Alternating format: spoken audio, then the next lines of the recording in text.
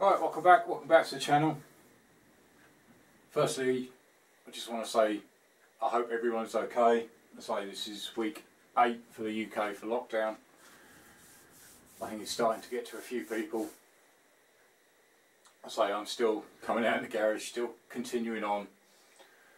Over the last couple of episodes I have taken a break from the project, or the Z650 restoration build behind the scenes I'm actually starting to rub down the, the paintworks obviously with the problems I had.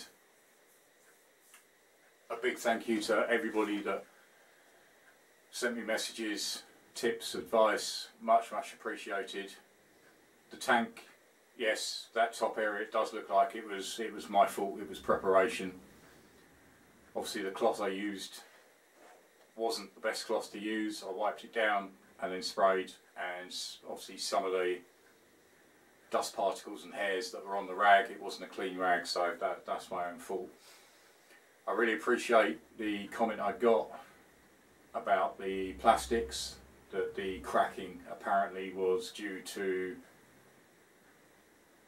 uh, a reaction with the paint obviously I've used with the reaction of what was underneath so I've started to basically go strip all the way back and try and get down to the the original plastic.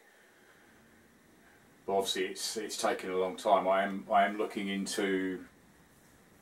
I know you can't use well, as far as I know, I might be wrong. I know you can't use. Well, apparently you can't use paint stripper. But I have seen. Uh, there was a video I saw the other day where a guy was actually using. I think it started with a P it was like an aircraft paint stripper and he did it on some quad plastics and it just bubbled it, he washed it off and the original plastics were still okay, no problem. So I'm looking into that, that might save some time because it is taking a long, long time. I've got a couple of bits on the bench today. I'm still continuing on. If you remember a few episodes ago, I started to strip the rear wheel hub of the Z650 it was completely black. As you can see it is it's had some work on it. I've started cleaning the insides. I'm going to leave that inner side black. That's obviously got to be cleaned out. Obviously the brake sides bearings got to come out bearings that'll come out that side so we're going to pull those out today. But I say today is just odds and sods really. It's I want to get this sorted. And also off subject from the project again. I'm just trying to refurb up some old risers Many of you might remember these. These were on the GSXR 1100W yokes. These were actually originally, well believe it or not, these were these were sprayed blue as well. They were like an anodised blue, so I stripped them off ages ago. So I want to try and bring these up. Had a little go already, it's still some work to do on it but I'll show you what I mean. Right, so as you can see a close up of the hub,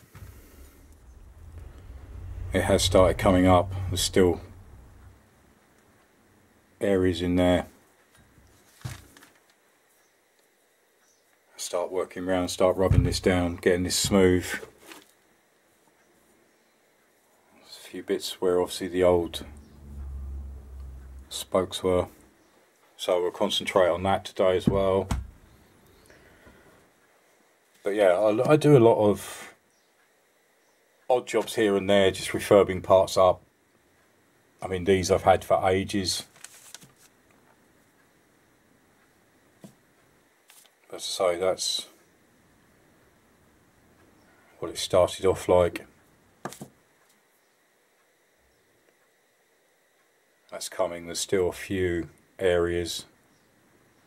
You see it just on that end, a little bit there.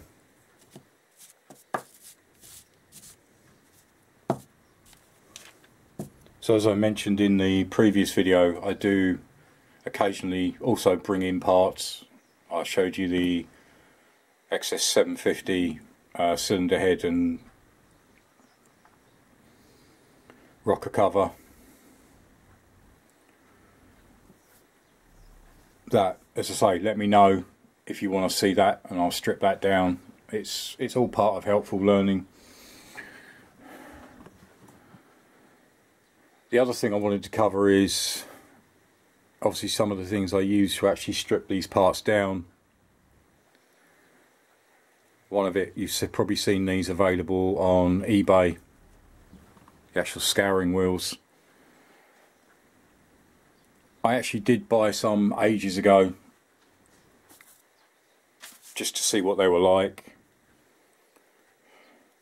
I just bought the, the double and as you can see very thin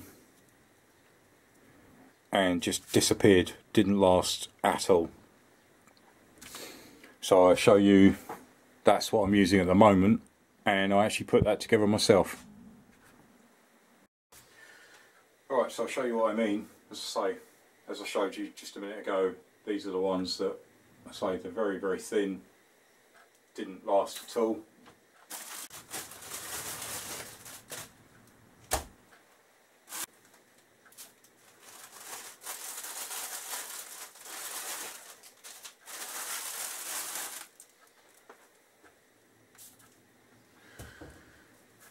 Right, so you've probably seen these on eBay. You can buy them in uh, packs of buy them in packs of ten. They are quite cheap to buy a pack of ten. I say I've got the the red, the coarser one, and the green smoother one. As I say, this is the one I actually put together. It's quite crude but it does the job. It's separated. I actually used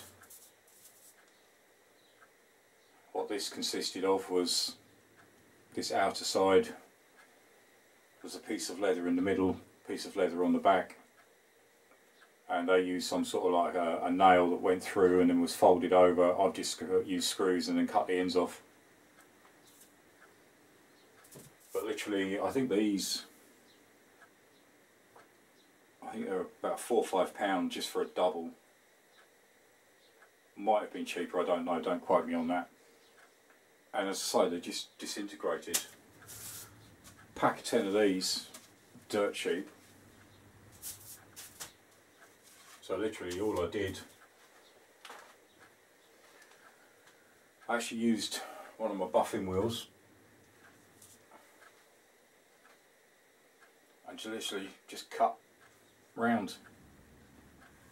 I've still got most of a pad left that I can use as a hand pad. Obviously you can make it as thick or as thin if you want a triple wheel, single wheel, double wheel.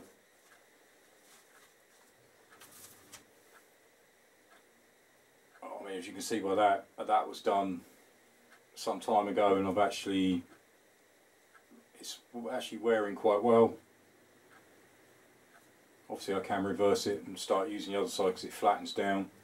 I just found that a cheap way rather than spending extortionate amounts on them. But as I say, you can find packs of 10 of these. I'll make a softer version up as well, which helps me with the with the with the rubbing down. It does scale nicely, and then I can go into wet and dry. As I say, I've I've got literally was uh, I only bought one pack of the of the red, two packs of the green because I do use quite a lot of them. But I think the price of probably them three was near enough the equivalent of what I paid for one of those. Right, one thing I did want to mention, and this is actually aimed at, uh, I won't mention his name, but he'll know who he is. Uh, it's quite quite an inspiration, so I, I hope hope you enjoy this. It's not as good as yours. But it is definitely getting there. That's the messy one.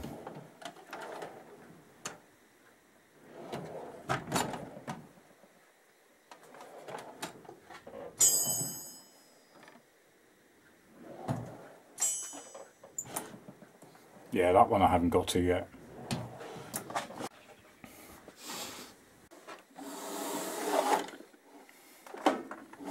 That one's getting there, it's a work in progress. I say the rest I haven't got to yet. Obviously that's where I keep all my all my buffing wheels, cleaning, etc. All sandpapers. And I apologise, you know who you are. My, my Allen key drawer is disgusting. but thanks for the advice and the uh, well, the kick up the arse to actually sort it out. But right, let's get back to this hub. Alright, so first job is remove the circlip, which I've done. Again, that'll be cleaned up.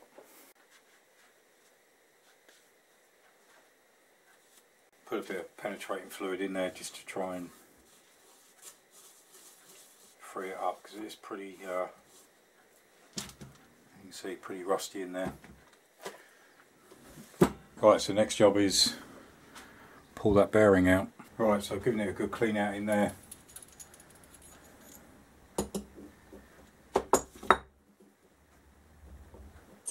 Fifteen. It's small. Let's try fifteen.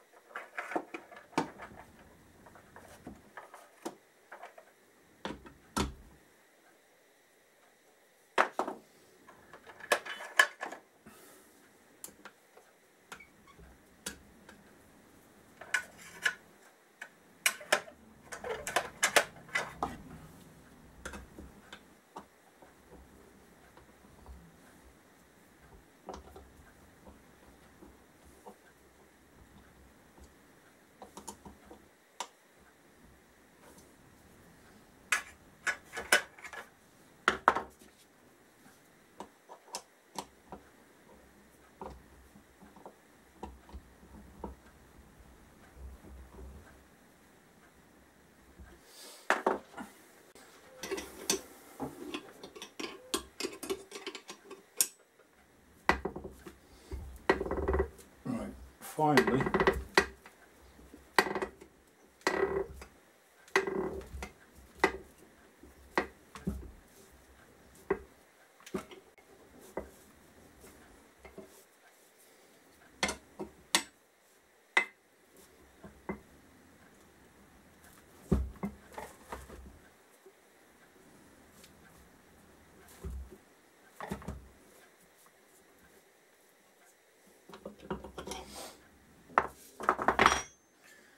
Right, that took a while.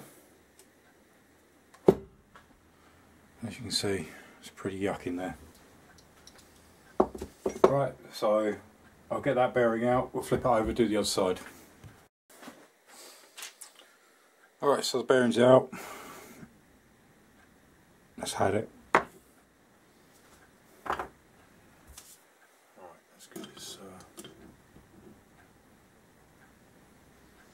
Center spacer.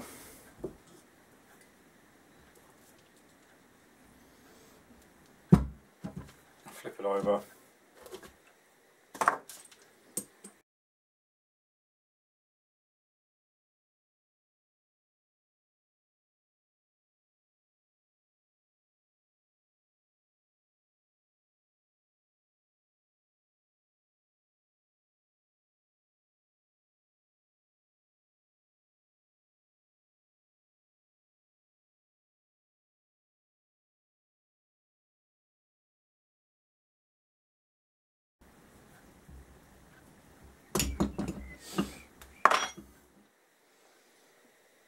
That's the other one out. That's even worse.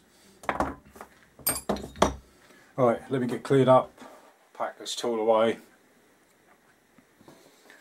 Anybody's interested, obviously that's the bridge puller and that's the blind bearing puller kit which comes with the bridge puller. I'll separate this, put this back together and put it in the kit and you can have a look. Right, so that's all out. Pretty, pretty disgusting there. I'll give that all a clean out. Clean out the spacer, replace the bearings. But that's the kit. So you got the slide hammer.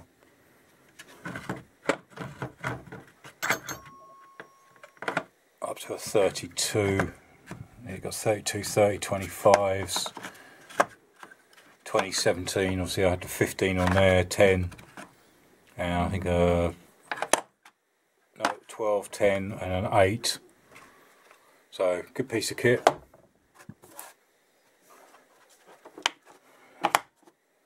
Cheap, but well worth the investment. I use it quite a lot. But I'll get that slide, the, the spacer sleeve cleaned up give that a clean up inside and then we'll start on the actual hub. Right, so that's the spacer all cleaned up and the circlip. I've cleaned out the inside, obviously that'll all be re-greased when it goes back together to go back in the in the bike. So next I'm going to run this under this wheel. I'm not really going for a super mirrored finish just clean and tidy.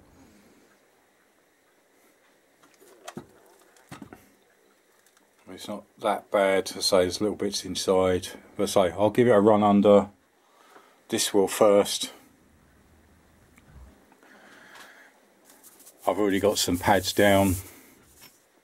Unfortunately I haven't got another one of these. So I'm going to use a couple of spacers on each side, maybe a washer in the middle, and we'll cut and make our own. So let me run this under first, join me again after I've gone through this wheel. Right, so that's had its first pass through the red coarse wheel.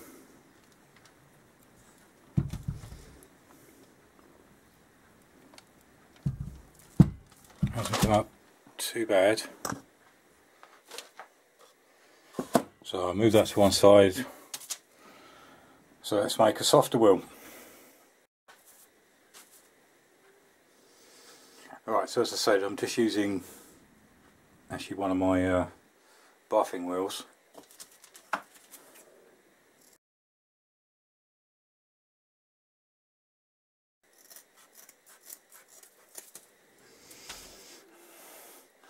Brilliant circle, but it does the job.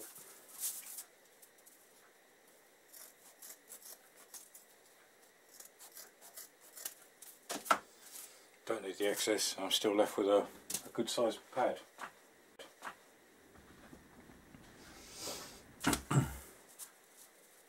right, so all I need to do now is just repeat what I've just done. Ready. Done.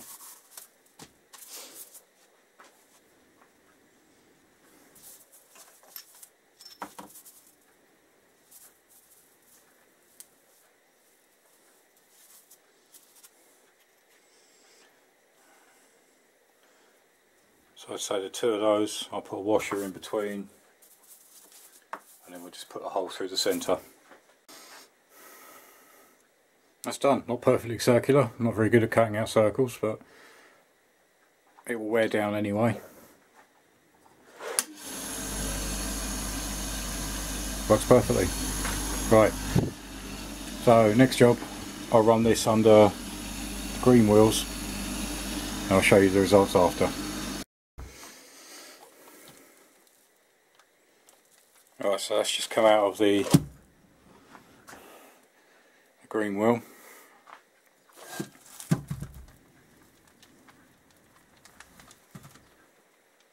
Still, it will take a while, but there's little bits, see, just up in there, I'll get to them.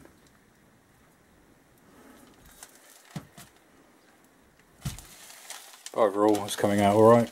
So let's get some polish on it under this wheel.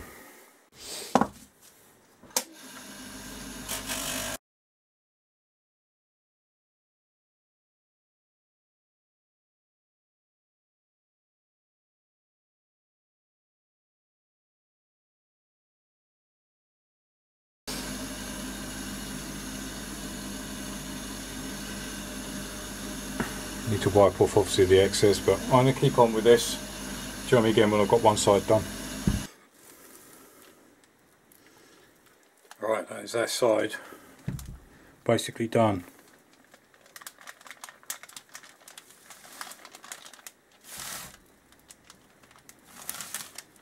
Now just got to do the centre. And the other side Say I'm not going for mega mirror polished. Because obviously the uh, brake cover is polished. I'm just looking clean.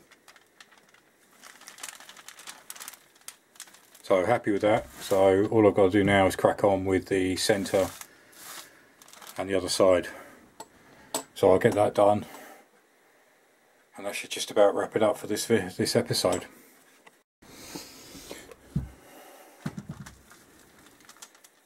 Alright, that is basically done.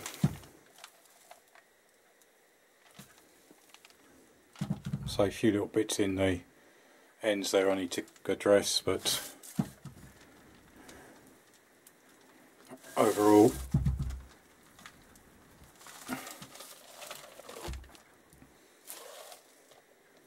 That was the look I was going for.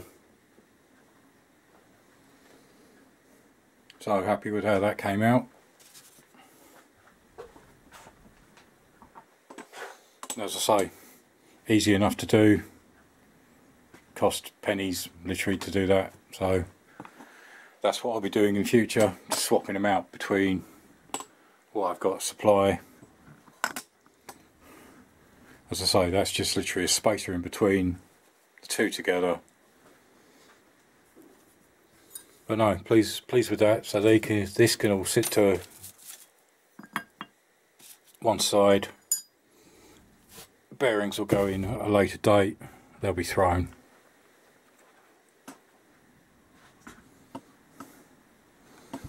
And as I say, these I'll continue on. I say these is just a sideline project for gives me something to do really.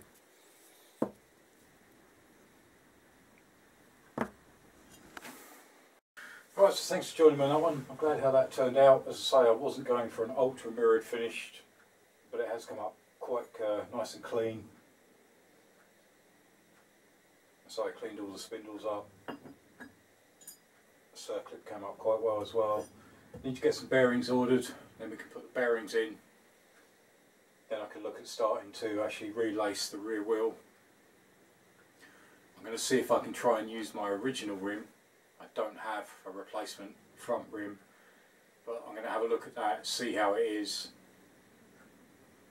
And then as I sitting up in the in the roof rafters at the moment. And then I can move on. I say I want to try and mix things up a little bit. So it's not all project all the time. It can get a bit uh, repetitive I suppose. Some people like it some people don't so I have tried to mix the videos up recently and it is kind of working. It's different interest and different aspects and sites and you know like a like the um, what I film well what I filmed off camera which I don't normally film. You know it's just it's just trying to mix things around a bit. But obviously you know the paintwork is taking me time. It's going to take a lot longer than expected so that's going to delay me up the engine I've still got to readdress, I've, I haven't forgotten. I just want to make sure I get everything right before I go in. But there are other plenty of other jobs of that build ready to do. I'll probably tinker with the Z1000 project. I've got the ST to come in. Probably do a little bit more work on the Varadero. As I say, I, I'm still working from home, so I've got well, the next update will obviously be the end of the month, so we'll, we'll see what happens on that one. But uh, got what I, I wanted to get done today. I'm going to continue on with these risers, and I'll show you the results of those. So they have started to come up, there's a lot more work to do. I don't want them ultra mirrored, but just clean. So as I say, hopefully that was a good tip on the on the scouring wheels. It's, it's saving me obviously money, which people need to do, and they are doing the job. I just keep swapping out the centres and just cutting up more, so that the pads are actually just scouring pads. They're quite uh, easy to get hold of.